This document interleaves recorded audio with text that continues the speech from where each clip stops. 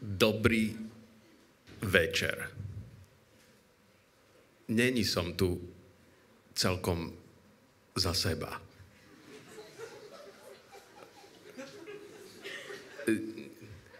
Neviem, či ste si to všimli, ale nie. Uh, som tu, ale hej, ja veľa nemám. Ale nepokoj.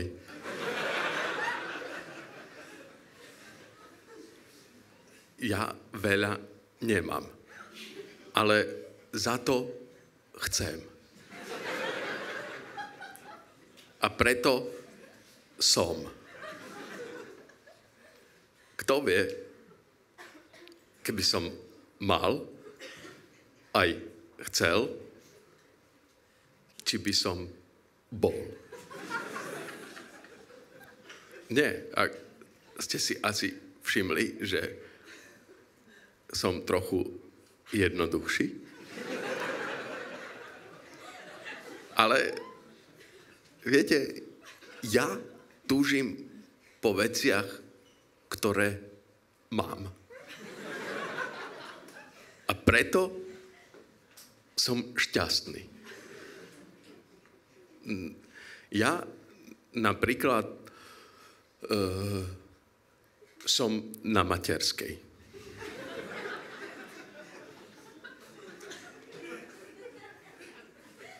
A keď som začal byť na materskej, tak som sa stal šťastný. Lebo, pani pre vás, som tam bol.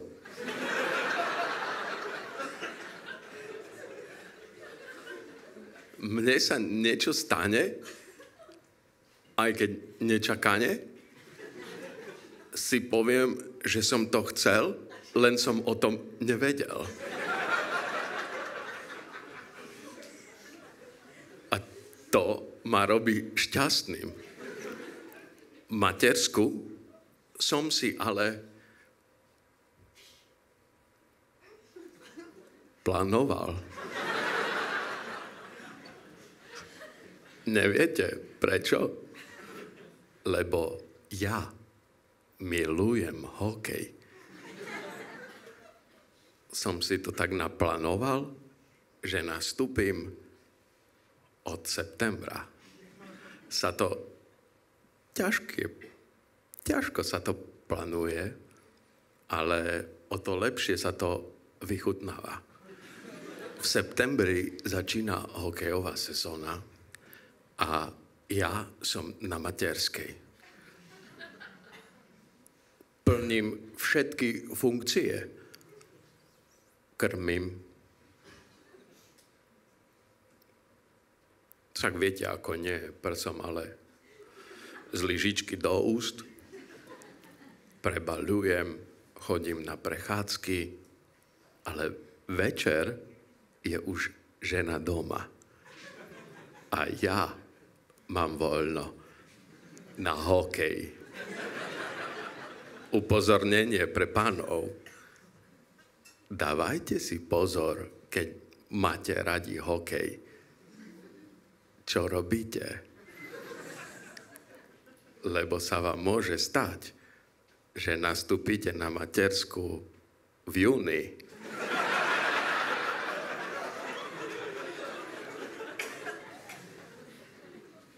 Nemusí byť problém, ale neuvidíte hokej.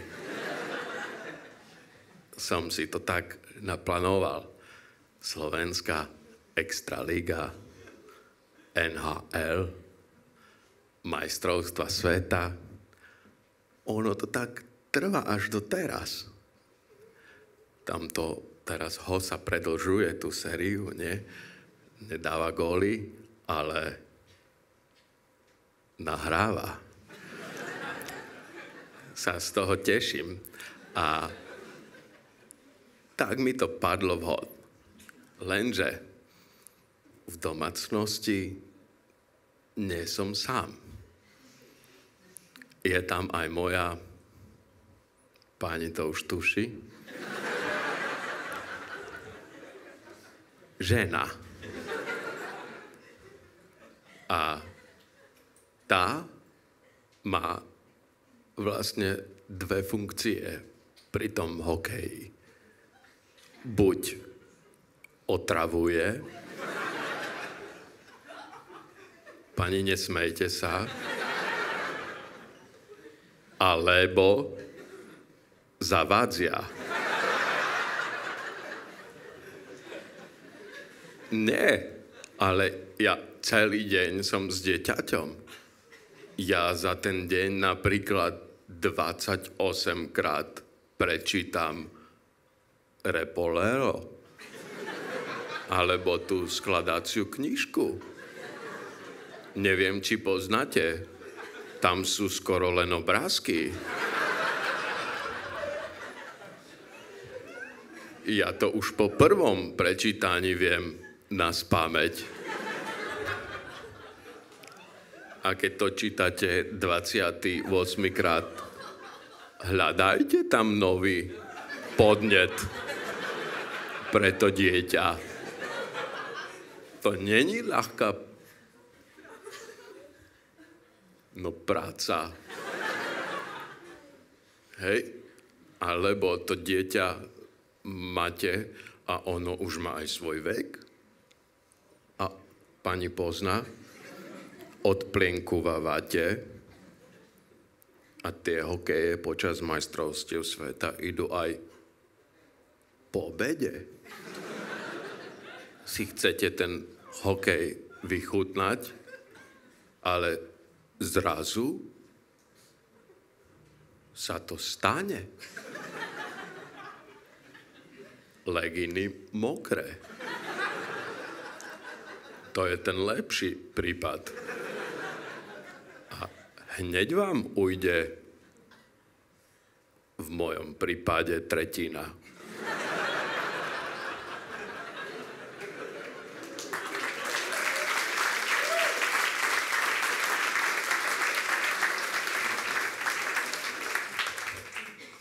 Vrátim sa k tomu večernému problému.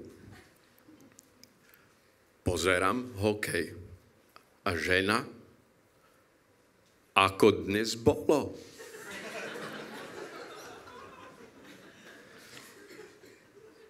Hovorím úplne konkrétne, dobre.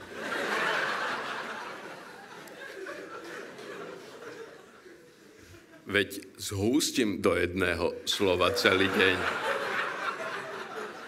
Lebo hokej, nie? My tam niečo ujde, ne, lebo zase ste si všimli, že ja zas myšlienky rodím. Žiadna sekcia cisársky postupne. Pre mňa je hokej rýchla hra. Ja chvíľu nesledujem, už neviem, na čo to navezuje aj to prerušenie hry mi robí problém. Ona sa pýta ďalej.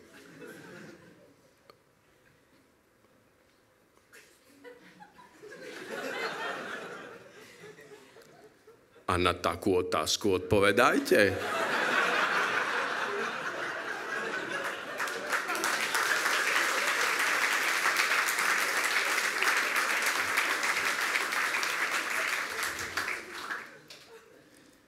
Počas prestávky nejdem ani na záchod, lebo v kuse rozprávam, aby nepadla ďalšia v druhej tretine.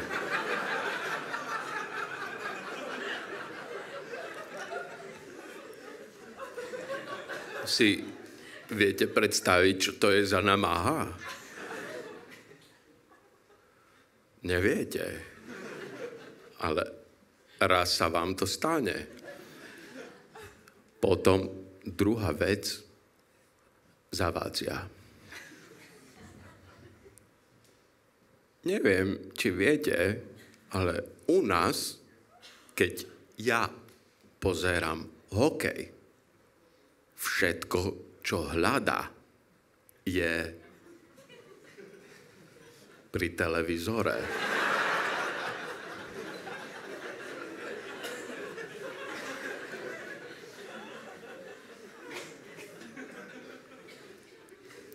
To je problém. Neviem, jak pre vás, ale ja tým trpím. Lebo vtedy počujem len komentátora. A to často sú len štatistiky.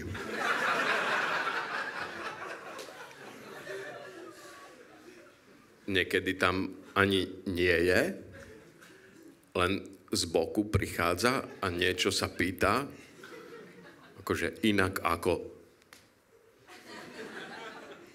normálne, verbálne, že jedol si dnes, čo je bežne normálna otázka, neodpovedám. Niekedy sa mi stáva, že ani v izbe nie je, ale už som tak napätý. Že poviem ticho.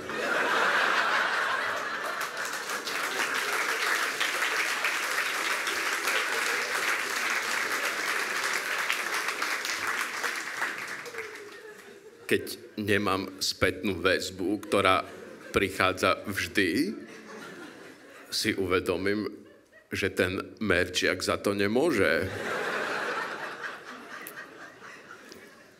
Hej, je to ťažké. Ona, keď príde a zistí, že ja to naozaj chcem pozerať, sa snaží spýtať niečo k veci. Napríklad, kto hrá?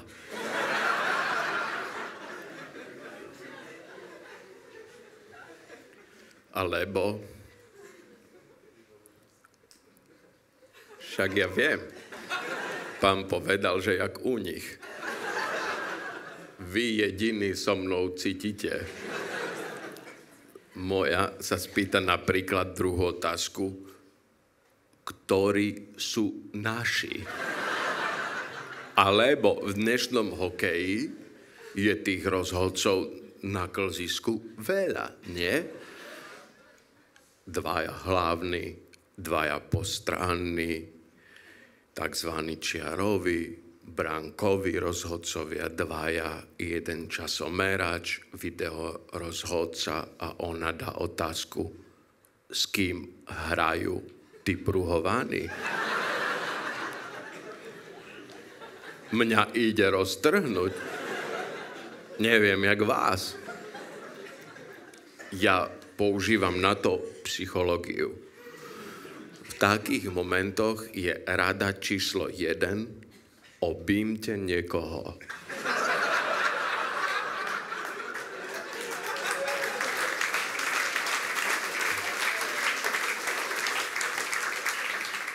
Ja sa tým radím, hovorím žene, poď sem. Ona sa bojí. Prirodzene. Ale ja ju objímem, mne to pomôže a ona je spokojná. A takto ide ďalšia otázka, to, čo hrajú v prestávkach za hity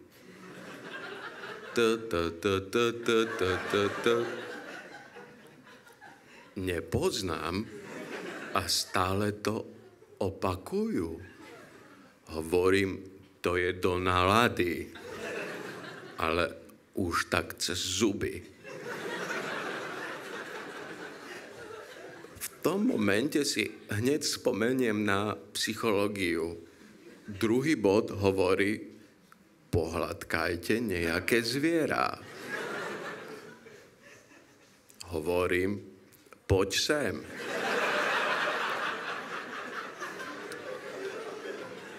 Zase ja sa upokojím a ona je spokojná, že pri tej hre, ktorá mňa baví, na ňu myslím.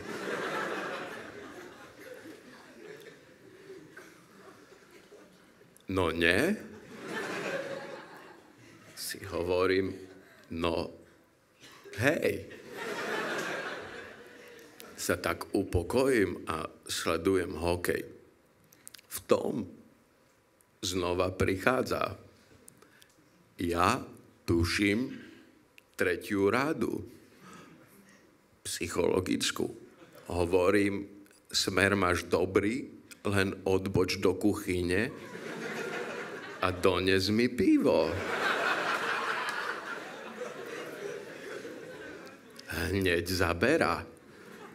To si pamätajte, lebo ja som spokojný a ona má radosť. No hej, že mi doniesla, čo ja chcem. Že hneď je lepšia atmosféra, aj keď prehrávame čo sa stáva často. A zrazu si sadne ku mne. Si hovorím, ju to zaujíma? Alebo reaguje na bielu?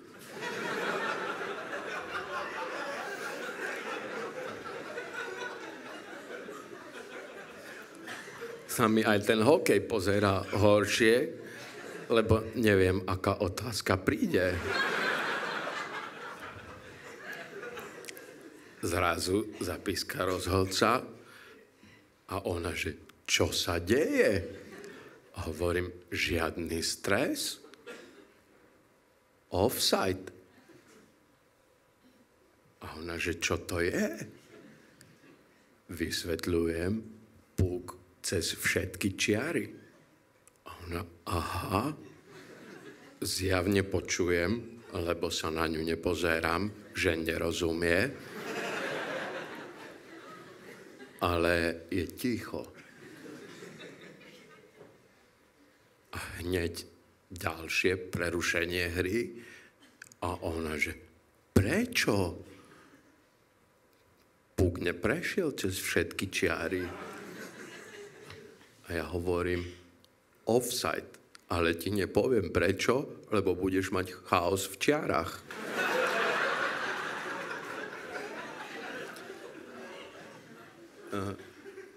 Má aj dobré rady. Niekedy. Napríklad sa vylučuje a ona uh, sa vylúči za nešportové správanie. To sa ukazuje takto.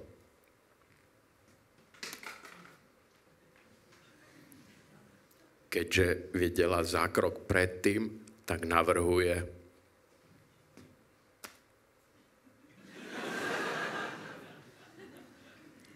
čo si myslím, že je lepšie hneď tomu rozumejú všetci, že nebudeš mi toto robiť na budúce.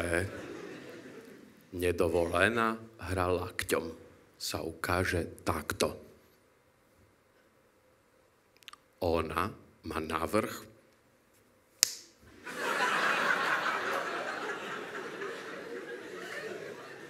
a má pravdu. Najlepšie bolo, keď ukazovala držanie. Pán už asi neudrží, tak ide.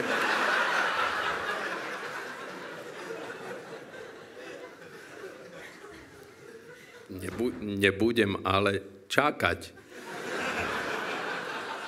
Lebo pochopiteľne ja dávam pauzy, ale čo by som robil v tom čase, ktorý mi zostane a už som si premyslel, čo chcem povedať. Držanie sa ukazuje takto.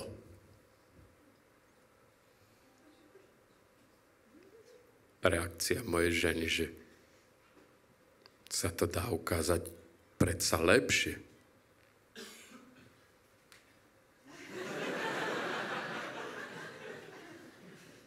Nie? Má aj dobré návrhy. Nehovorím, že nad tým rozmýšľa, ale aj nechtiac sa trafi. Napríklad ja som katolík. Neviem, koľky z vás už sa stretli s kostolom, ale vylúčenie dve minúty si tam posedí a ide ľad, to čo je? Tam by mala byť povinne spovednica. Ja viem, že ten rozhodca ukáže, čo spravil, ale ja to poviem. A ten farár mi naloží. On to musí olutovať a povedať, že to už nebude robiť. Nebodaj dostane nejakú pokutu, tak zistí, že naozaj poďme. Vidím to svetielko. Tí hokejisti, oni sú takí jednoduchí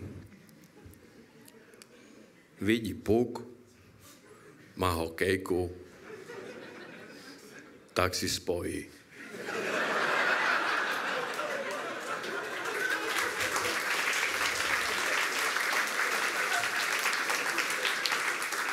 Ne, na záver vám poviem dve príhody známeho slovenského hokejistu. Nebude to ani Igor Líba, ani Vinco Lukáč, ani Jerguš Bača. O Lindnerovi sa dá len vtipne o ponožkách. Ale Žigo Palfi je parádny. On mal dobrú sezónu v NHL a prišiel na Slovensko, mal auto na Slovensku, lebo nebude prevážať z Ameriky, on má na to, ale mal tam ste nestihli všetko, ale začínam novú kapitolu. Sa pokojne. Ne, včas to není, ale myslím, že jak na vás pozerám, že nadviažete. Žigo Palfi mal teda to auto na Slovensku, ale mal tam zimné pneumatiky. Prišiel do servisu po sezóne a hovorí teda, že potrebujem prezuť auto. Servisman mu hovorí, samozrejme, objednáme, pán Palfi, nie? Dobre, kedy to príde? Do hodiny? Servisman sa usmial v duchu a hovorí, to, čo poznáme všetci, že najskôr zajtra. Žigo vyhodili z miery, lebo on, keď je na ľade, tak a pýta sa, toto auto má letné pneumatiky? Servisman hovorí, áno. Tak kupujem to auto a pneumatiky dajte na moje. Rieši veci prvou. Potom mal ešte jednu takú, že bol v tom LA, kde hral za Kings, chlapi rozumejú, že nám sa neprihováram.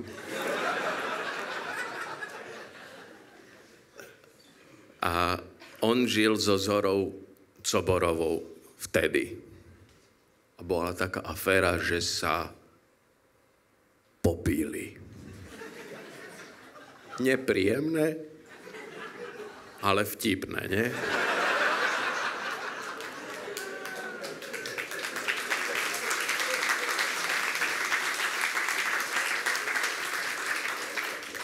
A pýtali sa spoluhráča Slováka, že novinári, kto vyhral?